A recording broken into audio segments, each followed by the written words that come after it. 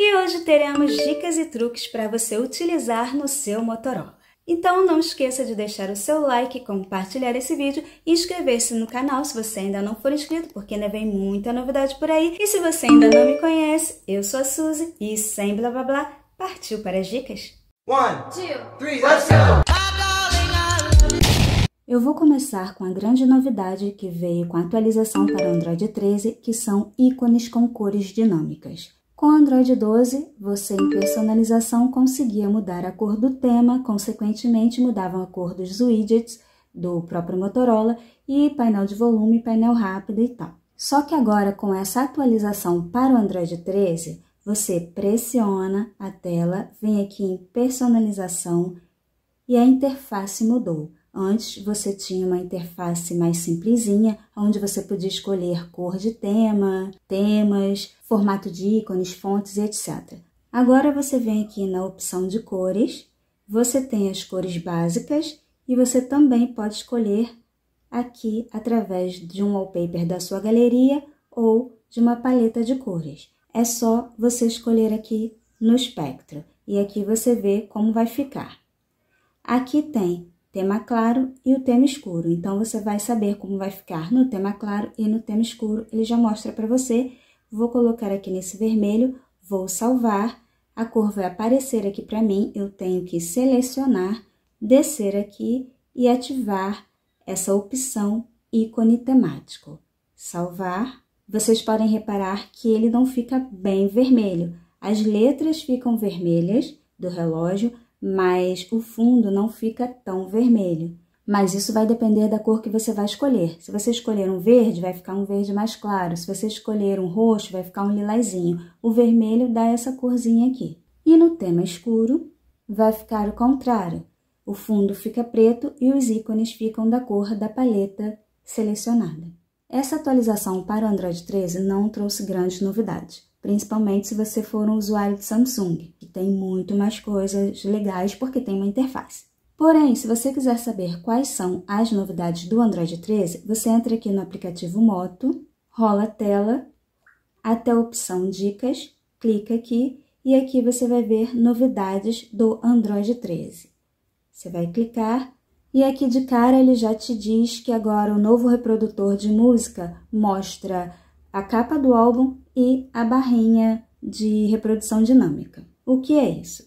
Eu deixei uma música rolando aqui no meu Spotify sem som para não dar direitos autorais e eu vou sair aqui, vou abrir aqui meu painel e você vai perceber que agora está mostrando aquela capinha lá do Spotify e essa faixa de reprodução da música mais funcional, talvez, porque você pode adiantar a música, você pode pular a música, você pode dar pause, você está vendo que está sendo reproduzido.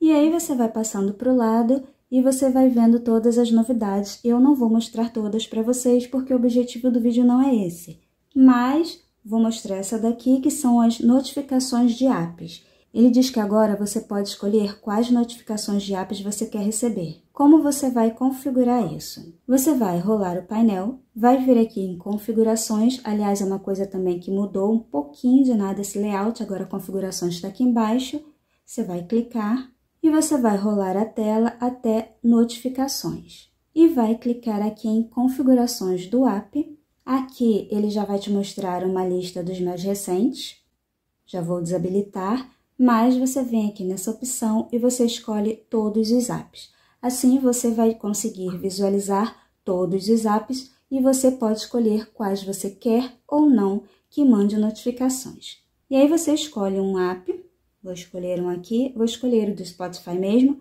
você habilita. Se você der um clique nele, você vai ver as opções de notificações. Você vai habilitar todas as notificações e aqui você vai habilitar ou desabilitar as notificações do Spotify, de reprodução, Spotify Music e também escolher se você quer permitir ponto de notificação, que é aquela informação que fica no ícone do aplicativo quando você recebe uma notificação e ainda não leu. Cada aplicativo vai ter uh, opções diferentes. Por exemplo, se você vier aqui no YouTube, ele vai ter aqui ó, uma quantidade imensa de notificações que você pode escolher se você quer notificações de inscrições, transmissões ao vivo, etc, etc. Então, baseado nisso, você vai entrar em cada aplicativo que você tiver interesse em receber as notificações e vai configurar da maneira que você achar melhor. Essa próxima dica eu trouxe porque teve uma pessoa que comentou aqui no canal que o modo dividir a tela sumiu com o Android 13. E na verdade ele não sumiu, é só você deslizar que ele vai te dar a opção aqui de escolher um outro aplicativo para dividir a tela. Vou escolher aqui o YouTube e você consegue dividir a tela normalmente.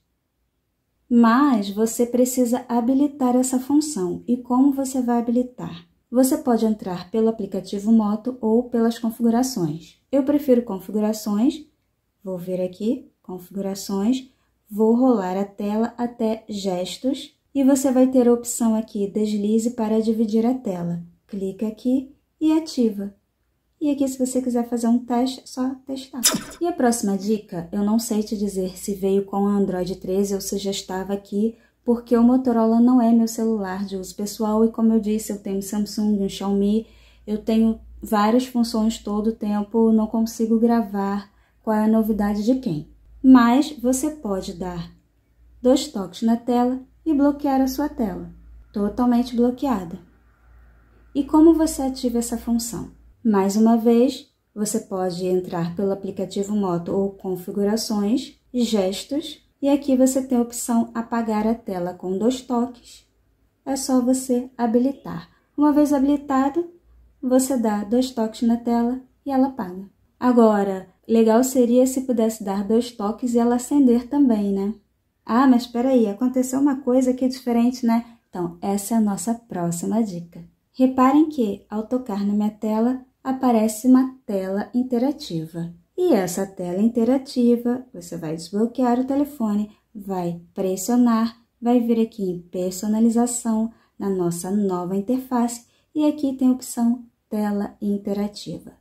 Você clica aqui e você pode escolher um relógio analógico, padrão ou o anel de bateria, que é aquela coisinha que a gente já está super acostumado aqui no Motorola. Esse aqui, padrãozão, esse aqui você tem a opção de editar e escolher a localização. Você clica aqui, você pode habilitar a sua localização atual ou adicionar uma localização, como eu fiz aqui. E essezinho aqui é o analógico. Você vem aqui, você pode escolher estilo moderno, que é esse aqui, essa gracinha, ou estilo minimalista, que o ponteiro já fica bem sequinho, bem quadradão. Eu particularmente gosto do estilo moderno que muda a corzinha aqui e fica mais transparente. E você também tem plano de fundo do relógio. Tem estilo moderno e estilo minimalista, que ficam só aqui os pontinhos. Para quem gosta de uma coisa simples, como o nome diz, minimalista, esse aqui é bem legal, mas eu gosto de coisa extravagante, então eu gosto desse aqui, estilo moderno. Mas vocês perceberam que tem um efeitozinho na minha tela? Então eu vou mostrar como ativar. Você vai mais uma vez rolar o painel, clicar em configurações, rolar até tela, vai rolar novamente a tela até encontrar tela interativa. Clique em tela interativa e ativa essa função. Se você deixar essa opção desativada, o nosso reloginho não vai aparecer a, o que eles chamam de tela interativa, que eu chamo de Always on Display e tela sempre ativa, enfim, cada um tem um nome, não vai aparecer. Então, você precisa ativar e aí você clica aqui ó, em configurações. Aqui em relógio, você pode escolher o estilo de relógio, ou seja, você tem aquele atalho através de personalização, ou você pode entrar por aqui pelo menu de configurações. E aqui você tem a opção de plano de fundo animado. Vou bloquear a tela, vou dar um toque e o plano de fundo tá coloridinho. Se eu desmarcar essa opção, meu relógio bate seco, sem nenhum plano de fundo. Então, para aquelas pessoas que gostam de um diferencial, uma corzinha a mais, é só ativar plano de fundo animado. Mas como você quer ativar essa tela? Ativação da tela. Você vai clicar aqui e você pode escolher ativar ao tocar na tela ou ao mover o telefone. Eu, particularmente, uso ao tocar na tela porque a gente está sempre movendo o telefone, mas também está sempre tocando na tela. Então, é aí Um se ficar o bicho pega, se correr o bicho come, cada um vai ativar do jeito que achar melhor. Ah, mas e aquela corzinha? Como a gente vai escolher? Bom, essa corzinha é baseada no tema. Se você pressionar, vier em personalização, clicar aqui em cores, vocês viram que tá aquela cor meio avermelhada, eu vou pegar um verdão assim para ficar bem diferente, vou salvar, sair aqui, meu teminha já mudou completamente, eu vou bloquear a minha tela com dois toques, que delícia, hein? E vou dar um toque aqui e vai aparecer um verdinho. É bem sutil pela câmera do telefone, mas por aqui dá para ver um verde bem legal. E aí, como eu disse, vai mudar de acordo com o tema que você aplicar.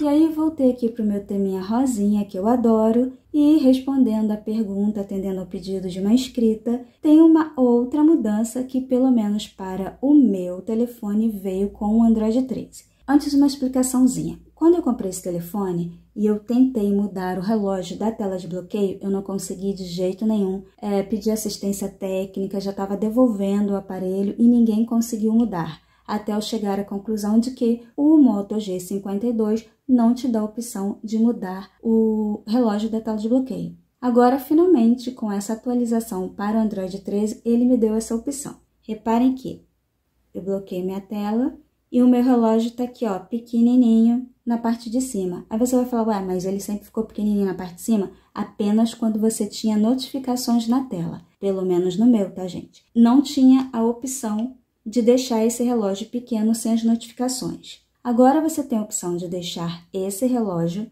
na tela de bloqueio e esse relógio grandão aqui essa coisa enorme que antes para mim só ficava esse relógio enorme na tela e atrapalhava toda a minha personalização. E como você vai escolher? Mais uma vez, você vai vir aqui em configurações, vai buscar aqui por tela e tela de bloqueio. Vai rolar a tela toda até essa última opção, relógio de duas linhas. Com ela desativada, você tem o relógio ali pequenininho na horizontal. Com ela ativada, você tem esse relógio enorme aqui no meio da sua tela.